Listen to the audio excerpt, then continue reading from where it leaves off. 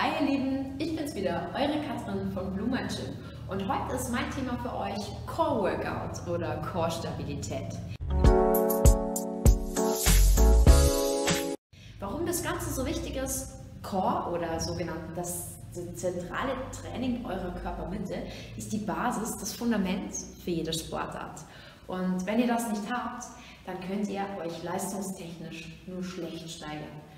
Ziel eines ähm, effizienten Core-Trainings, ich zeige euch gleich zwei Möglichkeiten, ist ganz klar also eine positive Kraftweiterleitung von ähm, der Körpermitte aus in die Peripherie, sprich in die umgebenden Blutgefäße und natürlich auch in die Gliedmaßen und zugleich auch eine erhöhte Kraftentwicklung in dem Bereich. Das fördert dann zunehmend die Leistungssteigerung. Also, Checkpoint. Im Endeffekt braucht man es für jede Sportart, egal was man macht. Man hat immer eine solide Körpermitte mit dabei. Der Körperschwerpunkt, der Punkt der meisten Kraftentwicklung ist zum Beispiel ungefähr hier zwischen Ober- und Unterkörper, etwas über der Hüfte, in einer Linie zur Körperachse. Und daher ist es ganz wichtig, an dieser soliden Basis zu arbeiten. Und das tun wir heute. Gut, ähm, was ist Core-Training?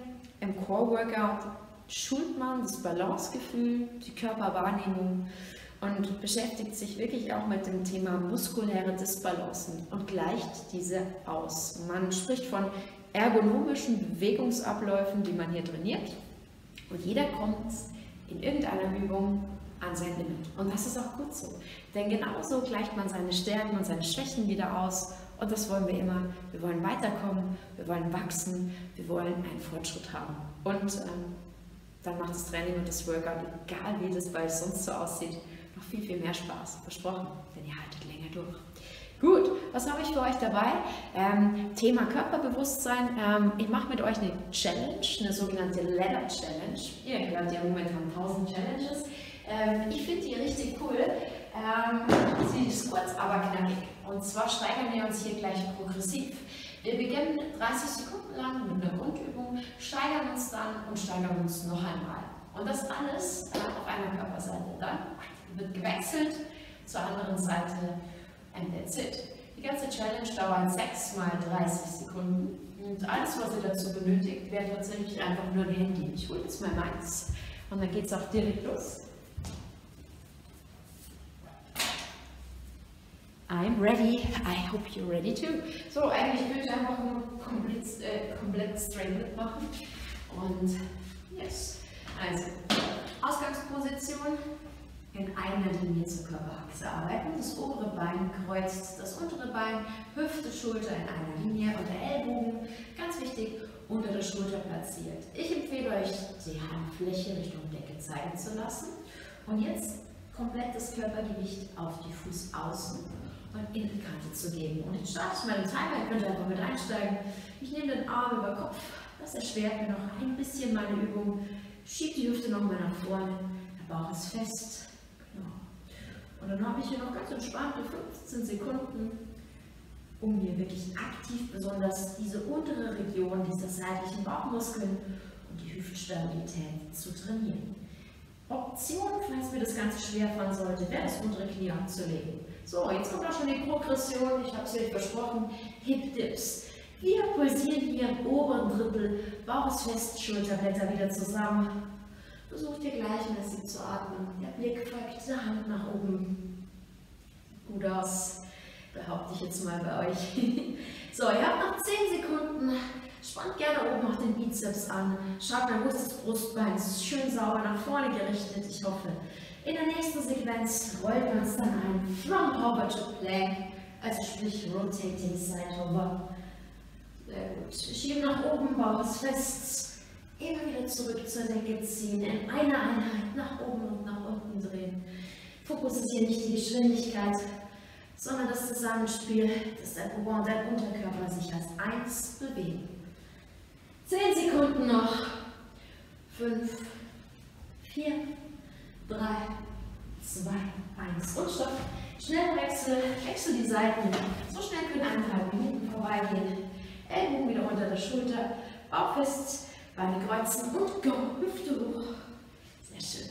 Auch hier wieder darauf achten, Hüfte nach vorne, Arm über Kopf, Ellbogen unter der Schulter und der Bauch in der Spannung. Sehr gut. Nochmal höher. Ihr sollt immer eine leichte Zugspannung hier im unteren Bereich eurer Hüfte und Bauchmuskulatur spüren. Dann bewegt sich langsam Darm nach oben. Die Handfläche zeigt vor. Hip Dips. Wirklich hier. Wir bewegen uns mit der Hüfte im oberen Drittel. Dort, wo wir die meiste Zugspannung verspüren. Und dort bleiben wir noch. Hüfte vor, Schulterblätter mehr zusammen. Hier nochmal Höhe generieren, um mehr Ergebnis zu erreichen. Fünf Sekunden noch in die letzte Challenge. 30 Sekunden hier, rotating side hover. Dreh dich wieder in einer Linie ein.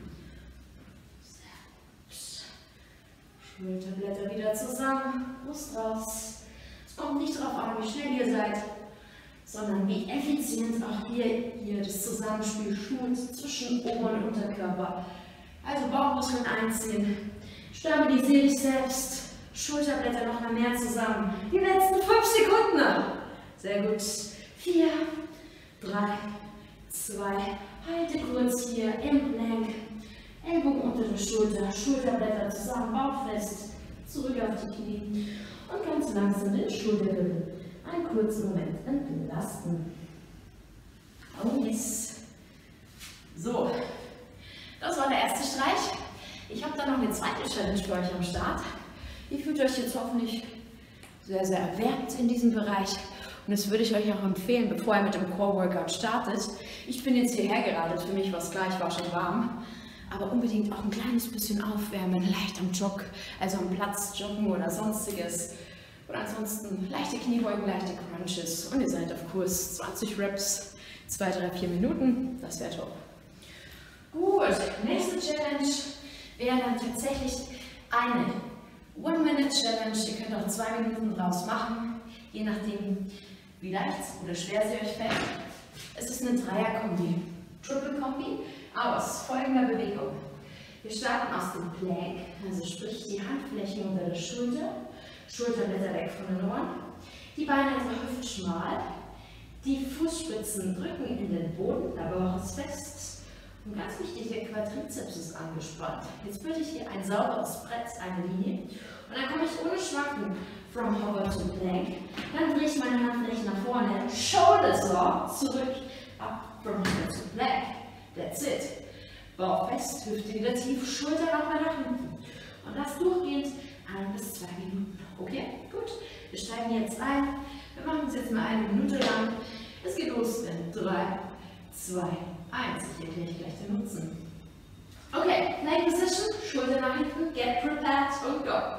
From hover to plank. Ellbogen eng. Zieh die Schulterblätter nach vorne. Komm wieder nach oben. Hover to plank. Ohne Schwanken. Down, down. Schulter nach vorne, Shoulder so. 15 Sekunden geschafft. Wechsel auch unbedingt immer mal die Hände. In der Shoulder Saw aktivierst du besonders das obere Teil deines Rückens. Das wiederum sorgt für mehr Power und mehr Stabilität. Das bringt dich eine Stabilitätsstufe nach oben und arbeitet aktiv gegen deinen Bürorücken. Bauch fest, Po nach hinten. Noch volle 15 Sekunden. Brustbein raus. Auch hier nochmal alles geben. Oh yes. Die letzten fünf, vier, drei, zwei, hold on, Bauch fest, komm tief und entlasse noch einmal kurz in der Child's Pose. Atmung langsam nach unten fahren, kurz stoppen und dann ganz langsam nach oben kommen. Sehr gut. So Leute, wenn ihr diese Dinge beachtet, habt ihr schon eine schöne Ganzkörperstabilität generiert. Wir haben als erstes die laterale Kette so ein bisschen herausgefordert durch diese Progressions-Challenge aus dem Side Plank, dann mit dem Hip Dip und dann mit der Rotation haben wir auch noch den Schultergürtel ein bisschen mehr mitgenommen und dann haben wir durch den Plank, also sprich from hover to plank, so ein bisschen an dieser intramuskulären Koordination gearbeitet und durch diese Shoulder Saw wo wir uns wirklich aus der Schulter, nur aus dem Schultergürtel, nicht aus den Beinen vor und zurückgezogen haben, haben wir speziell diesen Anti-Bürorücken-Effekt aktiviert. Und das ist wiederum super, super schön und gut für eure Haltung. Denn die Menschen, die Core-Training betreiben und die sich wirklich wohlfühlen in ihrer Haut und im Körper, die strahlen das auch aus. Und ich muss euch ganz ehrlich sagen, vergesse oder vernachlässige ich mal aus irgendeinem Grund, Zeitmangel oder wie auch immer, mein Core-Workout, fühle ich mich auch nicht mehr ganz so wohl wie in der Woche, wo ich es gemacht habe. Man kann sich trotzdem das Leben schön machen, mit oder ohne Sport, keine Frage. Aber ein bewegter Körper ist meiner Meinung nach ein glücklicherer Körper. Das war's für heute. Eure Katrin, bis zum nächsten Mal. Macht's gut und viel Spaß mit den Trainings.